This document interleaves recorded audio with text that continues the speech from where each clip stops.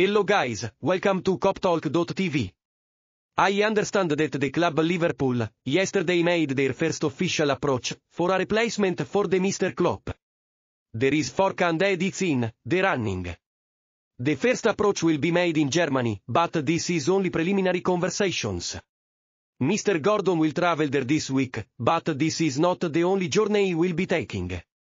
He will also travel to Spain.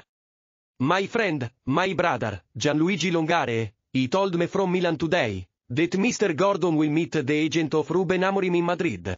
Will Spearman has provided the dossiers on these two experienced gentlemen, and there is a lot of promising statistics to consider.